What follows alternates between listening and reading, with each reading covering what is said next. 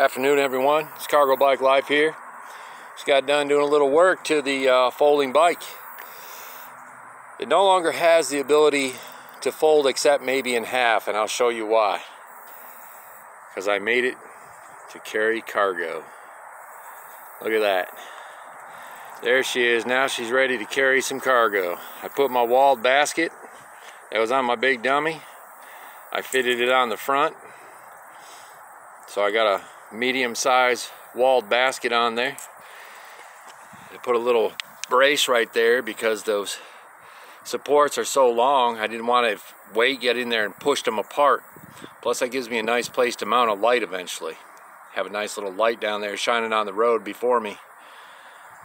So I put that little bracket on there and it just bolts right onto the wheel on each side.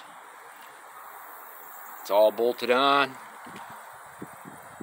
And then on the rear, I put my super big milk crate. My light's right below it, but I got a huge milk crate on the back of that.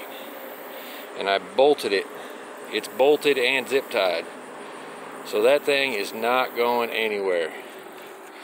No one could pick it up and walk off with it. And this bike's so small, I'd say when I get to the grocery store, I could just walk it in and actually put my groceries in it and walk right through line with it. I wouldn't have to lock it up outside. But now she's actually a cargo bike. Now she can carry some stuff. I think it's pretty cool. Let me know what you think. Tell me if you like it. There's a more of a side view of it so you can see the bigness of the milk crate. That milk crate is, is wide. Get a lot of stuff in there now. Yep. She's looking good. She's ready for the apocalypse. Be riding away with all our stuff.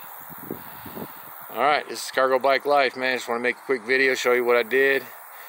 Y'all ride safe and have a great day. It's Cargo Bike Life out.